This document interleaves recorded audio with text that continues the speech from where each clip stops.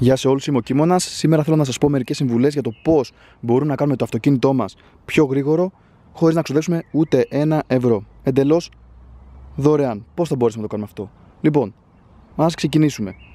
Πάρα πολύ σημαντικό είναι το βάρος του αυτοκίνητου μας για να μπορέσει να γίνει πολύ πιο γρήγορο. Έχει να κάνει καθαρά με το βάρος του. Επομένως προσπαθούμε να μειώσουμε το βάρος του αυτοκινήτου μας.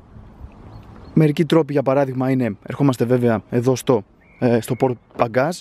Όπως βλέπετε έχω πάρα πολλά άχρηστα πράγματα τα οποία θα ήταν καλό να τα βγάλω ή όπως μπορούμε να αφαιρέσουμε την μπορούμε να αφαιρέσουμε το, τη ρεζέρβα μας για να μπορέσει να γίνει το αμάξι ελαφρύτερο. Κάτι άλλο το οποίο μπορούμε να κάνουμε αν το πιστέψουμε ακόμα παραπάνω βέβαια είναι να έρθουμε εδώ στο εσωτερικό και να αρχίσουμε να αφαιρούμε από, του, από τα χαλιά, από το air condition, από ε, την, του συνοδικού το κάθισμα, τα πάντα πραγματικά για να μπορέσει το αμάξι να γίνει πιο γρήγορο. Έτσι, αν το γνωρίζουμε και ότι από τα αγωνιστικά αυτοκίνητα, το πρώτο πράγμα που κοιτάνε είναι να κάνουν πιο ελαφρύ το αυτοκίνητο παρά να του δώσουν υποδύναμη. Διότι όλοι ε, δυστυχώς κοιτάμε τα άλογα. Εγώ έχω 200 άλογα, εγώ έχω 300 άλογα και δεν κοιτάμε το βάρος που είναι το πιο σημαντικό. Ένα SUV για παράδειγμα το οποίο έχει 350 άλογα σίγουρα είναι πιο αργό από το Audi TTS μου που έχει 280 άλογα διότι το TT είναι πιο χαμηλό, είναι δύο θέσεων, είναι πιο ελαφρύ ενώ το SUV μπορεί να φτάσει και τους 2,5 τόνους. Ή για παράδειγμα, πάρουμε τη Lotus την, ε, την Elise, η οποία έχει ένα 1800 κινητήρα, το οποίο όμως το αμάξι επειδή είναι πολύ μικρό, πολύ ελαφρύ, πραγματικά είναι πάρα, πάρα πολύ γρήγορο από αμάξια που έχουν ακόμα και 300, 300 άλογα. Γι' αυτό είναι το πιο σημαντικό το βάρος στο αυτοκίνητό μας.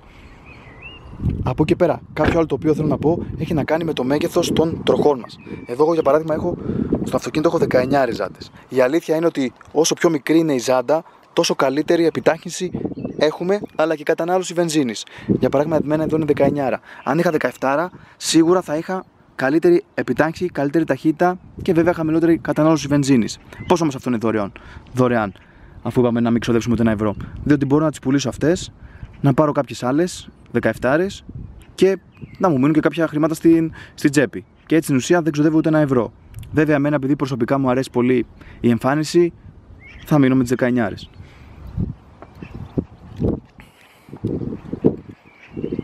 Κάτι άλλο που θέλω να σας πω και πολύ πολύ σημαντικό είναι η πίεση των ελαστικών μας. Είναι πάρα πολύ σημαντικό μια φορά το μήνα να ελέγχουμε την πίεση έτσι ώστε να έχουμε τη σωστή, το σωστό αέρα μέσα στα ελαστικά μας, διότι παίζει πάρα πολύ σημαντικό ρόλο στο να επιτεύξουμε τις ταχύτητες που θέλουμε και στο βεβαίως το αμάξι να πηγαίνει έτσι όπως πρέπει να πηγαίνει. Όπως μας λέει ο κατασκευαστής.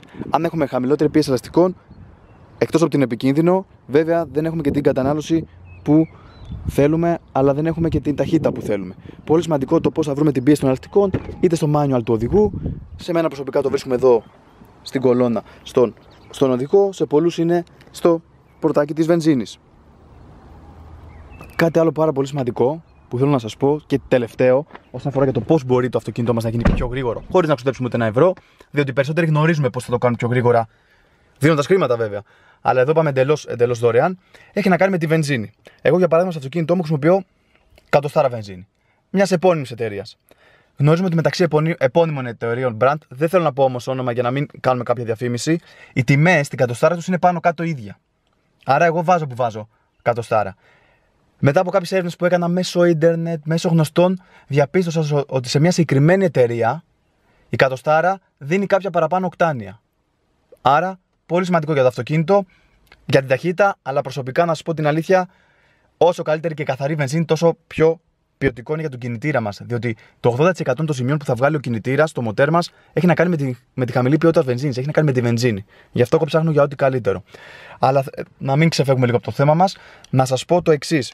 Ότι στην ουσία, στην ουσία, από τη στιγμή που η, που η τιμή είναι ίδια στις δύο εταιρείες που ψάχνουμε να βρούμε βενζίνη και η μία μας δίνει παραπάνω οκτάνια που θα μας βοηθήσει στην ταχύτητα, κάθομαστε και βάζουμε εκείνη που έχει τα οκτάνια. Τα παραπάνω. Άρα στην ουσία δεν ξέρουμε παραπάνω χρήματα, ούτε όσο θα δίναμε κάποια χρήματα. Για τη βενζίνη μας. Δεν είναι δύσκολο, δεν θέλω να πω ποια είναι. Ψάξτε το λίγο, θα το βρείτε. Ποια το έχει αυτό. Λοιπόν, αυτές βέβαια, παιδιά, από μένα συμβουλέ μου για το πώς θα γίνει το αυτοκίνητο σας πιο γρήγορα, εντελώς δωρεάν, χωρίς να ξοδέψουμε ούτε ένα ευρώ. Αν έχετε παραπάνω συμβουλές, γράψτε τι κάτω στα σχόλια να το συζητήσουμε. Να σας πω ότι ανεβάζω καθημερινά βίντεο. Κάντε ένα like, κάντε μια εγγραφή στο κανάλι και σας ευχαριστώ πάρα πολύ που είδατε το βίντεό μου.